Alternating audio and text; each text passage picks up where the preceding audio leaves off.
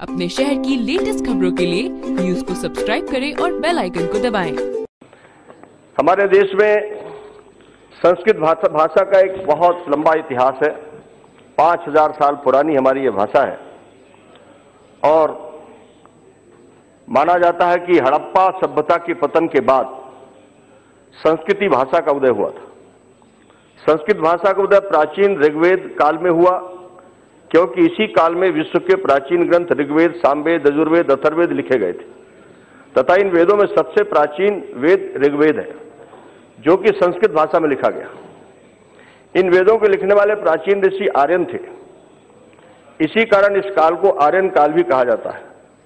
संस्कृत भाषा को आर्यों की भाषा कहा जाता है, और मैं मानता हूँ कि संस्कृत भाषा देव की, देवों की भाषा है।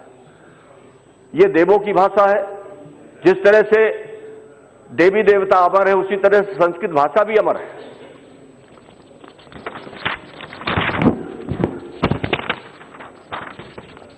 संस्कृत का विकास दो चरणों में हुआ। एक वैदिक संस्कृति, जिसमें हमारे वेद, धर्मशास्त्र, रामायण, महाभारत, उपनिषद आदि लिखे गए। दूसरा पाणिन रचित संस्कृत, जिसमें अनेक अलौकिक ग्रंथ जैसे अभिज्ञान, शकुंतलम, पतंजलि आदि लिखे गए। हिंदू धर्म से संबंधित सभी ग्रंथ संस्कृत भाषा में लिखे तथा यज्ञ, अनुष्ठान आदि संस्कृत भाषा में भी आज भी हो रहे हैं।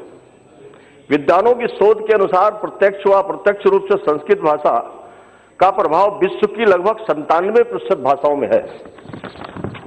ऐसा प्रमाण है। नासा के वैज्ञानिकों ने शोध में पाया कि संस्कृत भाषा का प्रयोग करके कंप्यूटर प्रोग्रामिंग को सरल बनाया जा सकता है। तथा इस भाषा के उपयोग से कंप्यूटर प्रोग्रामिंग में किसी प्रकार की त्रुटि नहीं हो सकती, ऐसी उन्होंने शोध किया है। अमेरिका के एक विश्वविद्यालय के अनुसार, संस्कृत भाषा में बात करने से मानव शरीर की तंत्रिका सक्रिय रहती ये अमेरिका के एक विश्वविद्यालय के प्रोफेसर का कहना है, जिसमें उन्होंने कहा कि डायबिटीज़, कोलेस्ट्रॉल और ब्लड प्रेशर जैसे रोगों से राहत मिल जाती है। संसार की लगभग अंठानवे प्रतिशत से अधिक भाषाओं पर संस्कृत का प्रभाव है। ये सचमुच हमारे राष्ट्रीय आदर्शवाद जो सत्यमेव जयते हैं, ये उसी पर से पूरी तरह से। सभापति महोदय, संस्कृति का प्रभाव सभी भारतीय भाषाओं पर तो है ही। इसके साथ साथ अंग्रेज़ी, German, French, Spanish, Russian, Indonesia की भाषा, इस्लामिक भाषा की संस्कृत का भी प्रभाव। संस्कृत केवल एक भाषा ही नहीं, भारत की ज्ञान परंपरा एवं उसकी आत्मा है। भारत की प्राचीन और वर्तमान, वर्तमानता का एक सेतु है।